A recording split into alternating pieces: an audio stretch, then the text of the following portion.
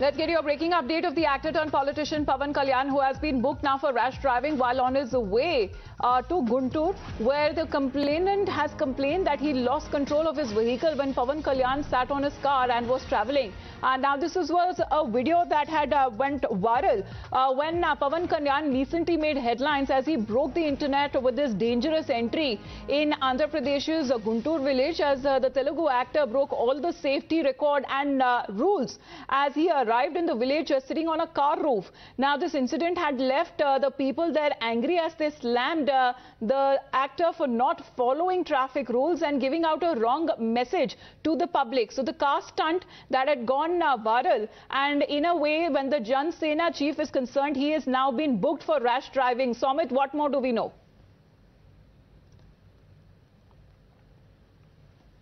Somit.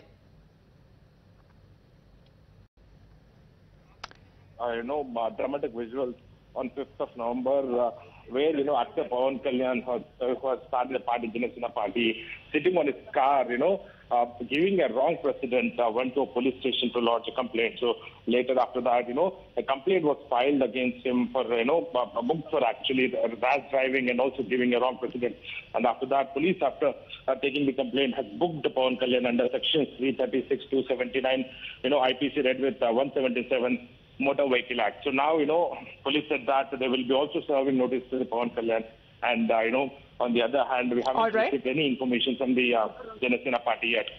All right, So Amit, thanks very much for the moment. So the Jan Sena chief, the actor turned politician, has now been booked for rash driving. We'll be back after a short break.